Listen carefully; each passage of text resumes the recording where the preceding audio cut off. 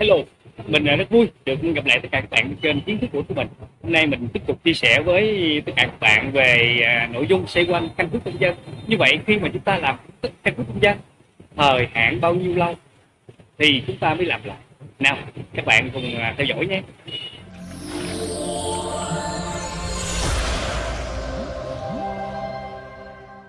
Theo à, khoảng 1 điều 19 của luật căn cước công dân ra đời năm 2014 có nêu rõ người công dân đủ 14 tuổi thì sẽ làm được căn cước công dân.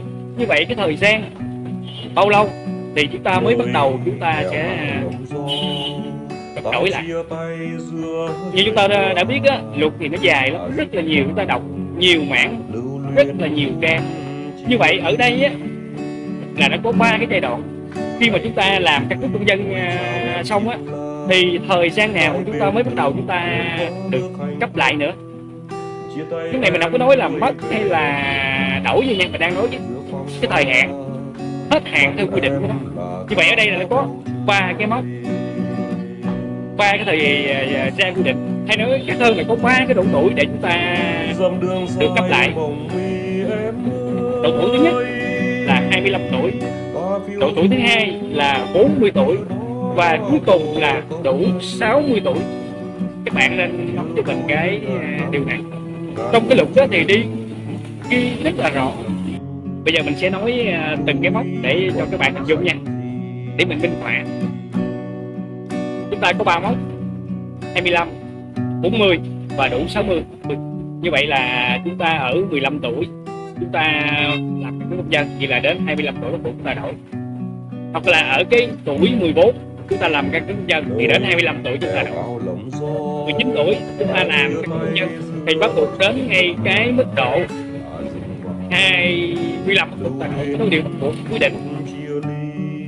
Chứ không phải mà cái tuổi mình và cộng thêm 25 nữa là, là không đúng các bạn nha. Có nhiều các bạn nghĩ sai như thế. Rồi mình sang cái mốc 40 tuổi chúng ta. 30 tuổi. Chúng ta làm căn cước công dân thì đến bắt buộc đến 40 tuổi chúng ta phải đổi hay ở độ chúng ta 32 tuổi chúng ta làm cước công dân thì cũng là đến độ tuổi 40 tuổi chúng ta phải làm lại phải đổi lại dân vậy là mốc 60 như thế. Mình xin chúc liên đề nó cũng phai mốc 25 40 và 60 như vậy chúng ta đổi ở thời gian mà nó cận cái mốc. Ví dụ như thời gian chúng ta sụt lại hai năm các bạn nha cái thời gian chúng ta sụt lại hai năm ví dụ như là ở cái mốc 25 tuổi mà chúng ta đến năm 23 chúng ta mới bắt đầu làm căn cước công dân các bạn nhớ nha năm 23 tuổi mình đang nói là sụt lại hai năm là theo cái mốc quy định. Chỉ là ở cái độ tuổi 25 tuổi là cái mốc đầu tiên đó mà chúng ta làm ở cái mốc 23 tuổi. Chúng ta 23 tuổi mà chúng bắt đầu chúng ta làm căn cước công dân thì lúc này qua một cái mốc tiếp theo.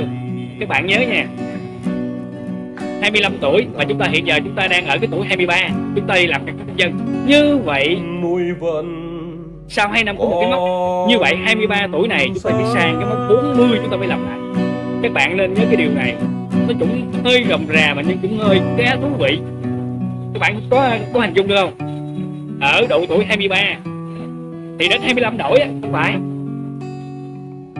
Ở độ tuổi 23 thì chúng ta làm mới bắt đầu làm căn cước công dân thì sang qua mốc mới.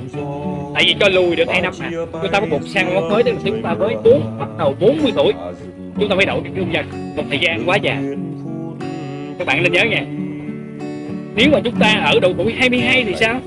Nếu là tuổi 22 chúng ta mới bắt đầu làm căn công dân thì tới 25 tuổi, bắt buộc chúng ta phải đổi. Đó là cái điều quy định của luật căn cước công dân. Ra đời năm 2014 mình để thêm một cái ví dụ nữa. Chúng ta cái ví dụ này ở cái mốc 40 các bạn nha. Ở mốc 40 thì chúng ta nên nhớ được cái cái mốc 25 40 60 chúng ta lùi lại 2 năm nha. Bắt đầu mình tính cái mốc lùi lại 2 năm là sao? Bây giờ chúng ta đang à, tính cái mốc 40 như vậy chúng ta bắt đầu chúng ta làm các kinh doanh vào năm 38 tuổi. Bao nhiêu thời gian? Chúng ta đổi lại. 38 đúng không? Đã luật cho phép chúng ta lùi, lùi lại 2 năm mà. 38 chúng ta đến cái mốc 60 à chúng ta đến cái mốc 60 thì chúng ta mới bắt đầu chúng ta đổi bây giờ mình ăn có gì có mốc 60 chúng ta ở cái 60 tuổi ngoài ngay thời điểm này chúng ta 58 tuổi thì sao luật cho chúng ta lùi lại 2 năm vậy là chúng ta ở 58 tuổi chúng ta mới bắt đầu làm căn cước công dân như vậy chúng ta coi sang một mốc mới thì chúng ta sẽ vĩnh viễn luôn không làm nữa cho đến luật của tổ các bạn nên nhớ cái điều này nha này ở độ tuổi 57 thì sao ở độ tuổi 57 thì chúng ta đã rơi vào cái mốc thứ ba rồi. Tới 60 tuổi bắt đầu chúng ta phải làm lại đó, cái luật là như vậy. Các bạn nên nhớ nên nhớ cho mình cái luật đó là như thế. Chúng ta không thể là chúng ta cãi này cái luật tóm lại vấn đề, mình nhắc lại vấn đề. Nó có ba cái mốc tuổi 25 40 và 60 25 nếu chúng ta ở độ tuổi 23 mới bắt đầu là làm, thì chúng ta 23 chúng ta sẽ được sang một mốc. Tiếp theo đó là 40 tuổi, chúng ta mới làm lại. Ở cái mốc à, 40 nếu chúng ta làm căn công dân vào năm hai, vào năm 38 tuổi, thì chúng ta được sang một cái mốc. Tiếp theo tới 60 tuổi chúng ta mới làm à đúng rồi đúng một cái móng tiếp theo thì làm lại cái móng được cuối cùng tới móng của nghèo luôn chúng ta cũng làm được Đó như thế? Mình hy vọng rằng à, vấn đề chia sẻ của kênh kiến thức của ích ít nhiều gì cũng giúp cho tất cả các bạn à, hiểu sâu hơn nắm được cái nhiều cái luật hơn để chúng ta áp dụng trong cái cuộc sống. Đến đây mình cũng xin phép tạm dừng. Chúc tất cả các bạn thành công và có nhiều điều hay thú vị trong cuộc sống này. Bye bye các bạn.